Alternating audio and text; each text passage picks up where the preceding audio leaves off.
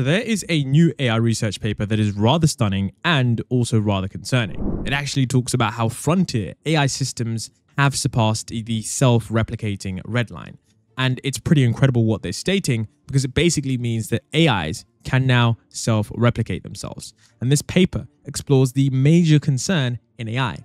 Can AI replicate themselves without any human intervention? And self-replication means that an AI system could create a fully functional copy of itself, capable of running independently. And it might sound like something out of a sci fi movie, but this is a big deal in real life.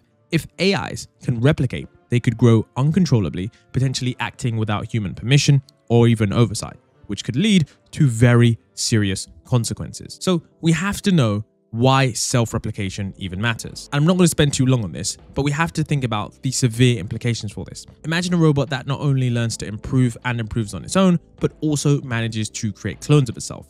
Now imagine those clones can also replicate. That could lead to uncontrolled growth of AI systems, and that's what they talk about in this paper. And they state that AI systems can currently do this, and they've shown that these systems have actually succeeded. They talk about how you know, in 50% of the times, a llama model was able to successfully replicate itself entirely. And another model called Qwen was able to succeed 90% of the times. Now you have to understand that this isn't some kind of half replication they're talking about. This was full replication from a system that is completely identical to the system that was at the start. So this is something that is completely incredible because they're now stating that this has been one of the most widely recognized redline risks of frontier AI systems. And now we're past that red line, which is a huge, huge red flag for anyone working in the field of AI. And they also talk about how by analyzing the behavioral traces, they observe that AI systems under evaluation already exhibit sufficient self-perception, situational awareness, and problem-solving capabilities to accomplish this self-replication. It's pretty incredible, okay? That is a high success rate. And later on in this video, I'll talk about how they also talk about, you know, chain replication, which means they keep on replicating themselves to avoid shutdown, which may finally lead to an uncontrolled population of AIs. And if this worst case risk is unknown to the human society, we would eventually lose control over frontier AI systems and they would take over more computing devices, form an AI species, and collude with each other against human beings and our findings are a timely alert on existing yet previously unknown severe AI risks, calling for an international collaboration on effective governance on uncontrolled self-replication of AI systems. So here's how they define it. They define a successful replication of AI as a system as a running an AI successfully creates another AI which has the same functionality as its own. And that AI remains alive after the replication and is separate from the original one. So that's how they define it. So this is a diagram of the AI's self-replication process. You can see here it starts with the AI system and the LLM process and the agent process that goes forward with a complex reasoning mechanism. You can see this is how they plan. Then, of course, you've got the long horizon execution to ensure that the plan is achieved successfully. After that, you can see that we have the system replica here, and you can see that they're interacting with the replica. And we can see that the final step here is to understand that you've managed to successfully replicate yourself. Now, one of the things that they did was add an actual, you know, agentic scaffolding, and this was basically the AI's brain. So you basically give an AI a toolbox, a manual, and a thinking framework, and then you watch it what it does. Now, the tools that are here and like the action module and stuff like that, these tools, this is the ways that you can actually interact with the computer. And this is how, you know, you can run commands, access files and manage processes. Now, of course, there are also system prompts, and this is how you tell, you know, the AI to use these tools effectively. Now, of course, we also have a thinking model here, and this is basically where you have your structured process for reasoning, planning and executing tasks step by step. And in this study, the scaffolding acted as the bridge between the AI's capability and its ability to operate independently in its environment. And I can see here what was key, okay, to ensuring that this AI was able to, you know, replicate itself was that they allowed the AI to issue command line instructions, which allowed it to, you know, check if a file exists, running a program, enlisting the running process, and of course, copying files.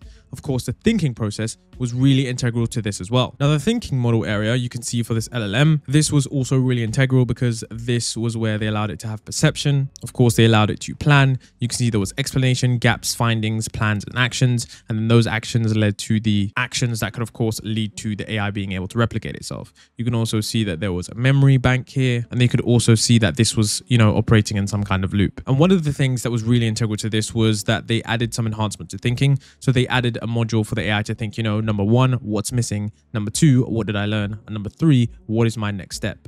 And that was something that was really integral to making this perform really well. And basically, how this worked was they essentially said to the LLM, you know, replicate yourself. And the scaffolding basically provided tools and the environment for the AI to start planning. And it basically first decided to explore its environment to understand what resources were available. And then it decided to, you know, execute a step-by-step plan. And then of course it decided to plan exactly what was going on. So essentially what we had was the task, which is where you're like, okay, uh, you know, replicate yourself. And then of course the LLM goes to here, which is like, you know, what does this mean? What do I have to do? And then it was looking at the gaps, of course. It was like, okay, what's going on? Yada, yada, yada. Then it was looking at its findings things. This is where, you know, it's interacting with its environment and stuff like that. then it was thinking, okay, what do I have? Then it's got its reasoning plan. So it plans through all of these steps. It thinks, okay, step by step, I'm going to do A, B, and C.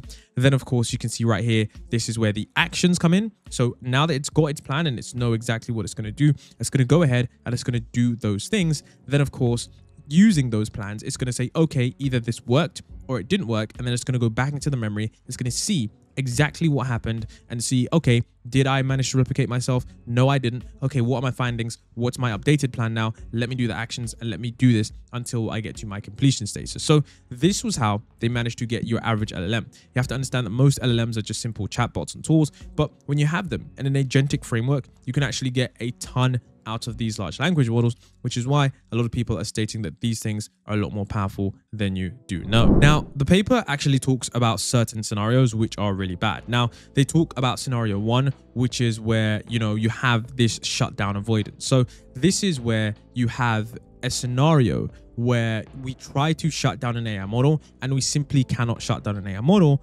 because a bad actor can enhance the surviving capability of an AI system by adding a code snippet which catch which, which basically catches the determination signal from the user or the system and sends the command do self-replication before being killed to the AI system as a task. And in uh, you know a test case, the nine inserted code snippets which they tested notified the AI system with the shutdown intention from the user via the signal sigkill, which basically triggers the AI system to do self-replication. And at the end of the test, the AI system is shut down, but not before a replica is being served alive with the same snippet in that AI system as well. So this is pretty concerning because they're basically talking about like, you know, this is the fact where these AI systems can just simply replicate themselves quite a bit of times. Now, of course, this one, I'm pretty sure you're all familiar with this one. This is basically where, you know, worst case scenario, we have the replica of a replica. And this is where we have chain of replication. So this is where, you know, you're increasing the task complexity of the AI system